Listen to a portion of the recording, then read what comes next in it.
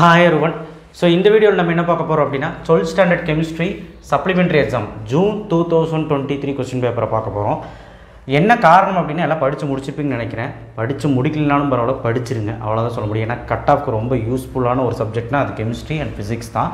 ஏன்னா நீங்கள் ரொம்ப வந்து ஒரு அறுபது மார்க் எடுக்கலனாலும் பரவாயில்ல. எழுபதுக்கு ஐம்பதாவது எடுக்க ட்ரை பண்ணுங்கள் பட் எல்லாமே படிச்சிருப்பீங்கன்னு நினைக்கிறேன். என்ன மாதிரிலாம் வருது அப்படிங்கிறது இந்த காலகட்டத்துக்கு தகுந்த மாதிரி பார்க்கணும். இந்த காலகட்டத்தில் இப்போ நாலு வருஷமாக பப்ளிக் நடந்துருக்கு. ரெண்டாயிரத்தி இருபதுலேருந்து இந்த சிலபஸ் நடந்துகிட்ருக்குது ஸோ அப்போது பழைய கொஸ்டின் பேப்பர்லாம் எப்பவும் பார்க்கக்கூடாது. என்ன பார்க்கணும் அப்படின்னா கடந்த ஒரு மூணு பப்ளிக் பார்க்கணும்.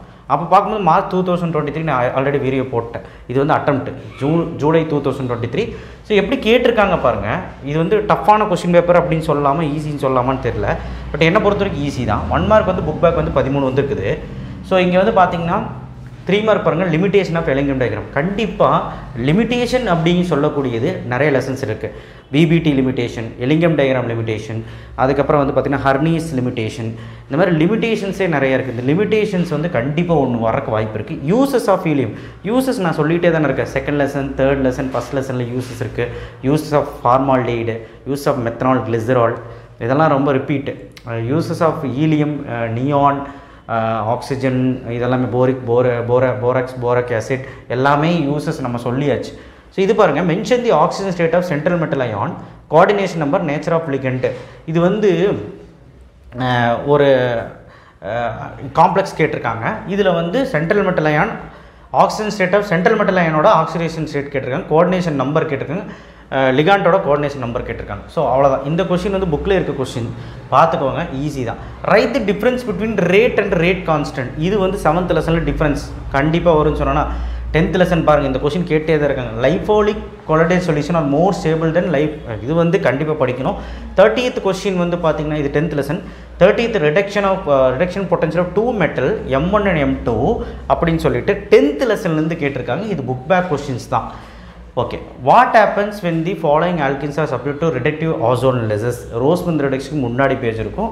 ஓசோன் லெசஸ் சரி இது வேண்டாம். Vulcanization of rubber unit fifteen ரொம்ப இம்பார்ட்டன்ட் இங்கே பாருங்கள் ஐடென்டிஃபை ஏபிசி என்ன கொஸ்டின் இது? C six H five N O two இது அந்த அதாவது இது அப்படியே வந்து பார்த்தீங்கன்னா இந்த ஈக்குவேஷன் வந்து புக்கில் இருக்க ஈக்குவேஷன் தான். புக் பேக் தான் கேட்டிருக்காங்க. ரொம்ப ஈஸி ஸோ எல்லாமே வந்து என்ன சொல்கிறது இப்போ நீங்களே நீங்களே வந்து பார்த்தீங்கன்னா ஆவரேஜ் ஸ்டூடெண்ட்ஸ் தான்.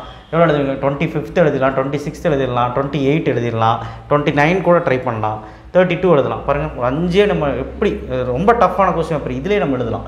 ஸோ இது வந்து சாரி இது வந்து த்ரீ மார்க்கு சரிங்களா? டூ மார்க் கிடையாது த்ரீ மார்க்கு டூ மார்க் வந்து பார்த்தீங்கன்னா give one example for the following இது வந்து சால்கோஜின் ஐசோஜின் இது வந்து பார்த்தீங்கன்னா இது பி பிளாக்ல இருக்குது இல்லையா? Book back sulphuric acid is டிஏடிங் agent give you example இதெல்லாம் யாரும் படிக்கிறது இதெல்லாம் படிச்சுக்கோங்க.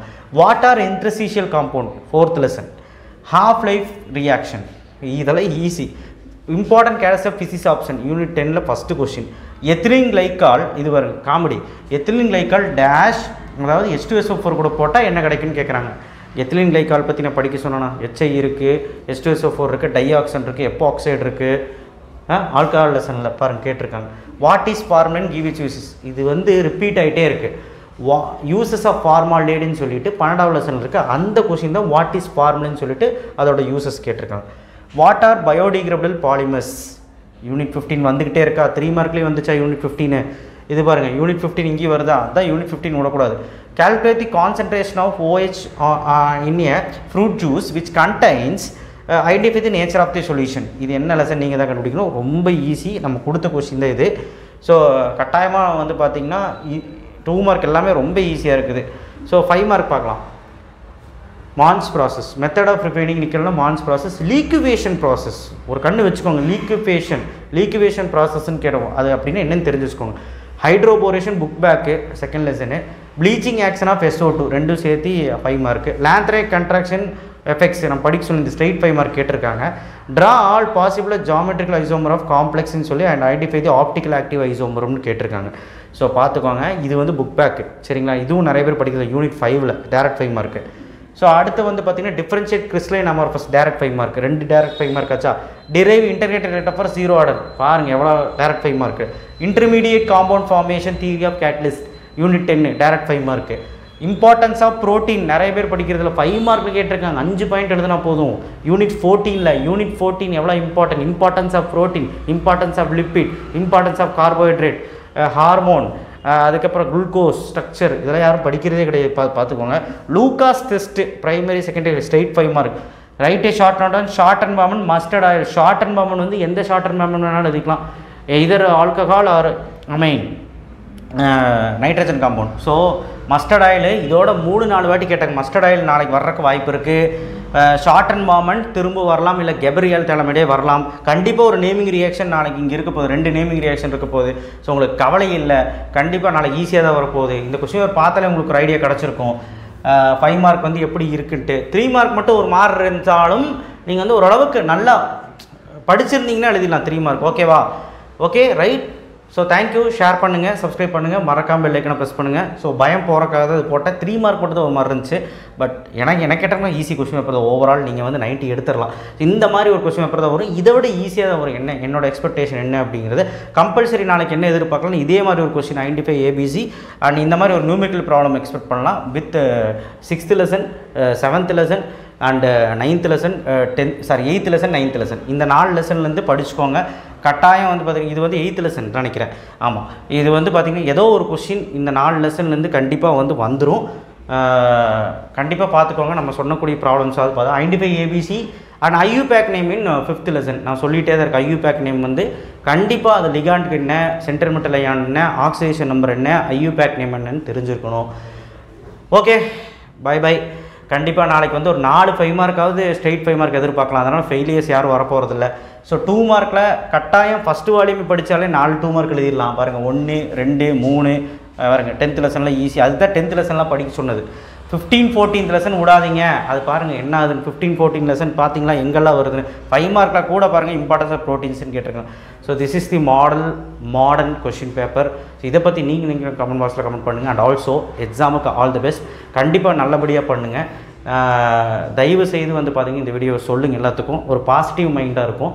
அண்ட் நாளைக்கு வந்து ப்ரெசன்டேஷன் டைம் மேனேஜ்மெண்ட்டெல்லாம் நான் எதுவும் சொல்ல போகிறதில்ல உங்கள் இஷ்டப்படி எழுதுங்கன்னா எழுபது மார்க் ஈஸியாகவே மூணு மணி நேரம் டைம் மேனேஜ்மெண்ட் பண்ணிக்கலாம். ஃபஸ்ட் எடுத்துல ஒன் மார்க் பத்துக்கு மேலே தெரிஞ்சு பத்து தெரிஞ்சுன்னா ஒன் மார்க்கே எழுதுங்க.